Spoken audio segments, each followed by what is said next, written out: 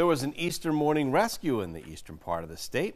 State police rescued an injured owl from the side of the road on Route 1 in Danvers. A trooper found the owl and then waited by its side until environmental police could show up. State police say that the owl was taken to a wildlife rehabilitation center.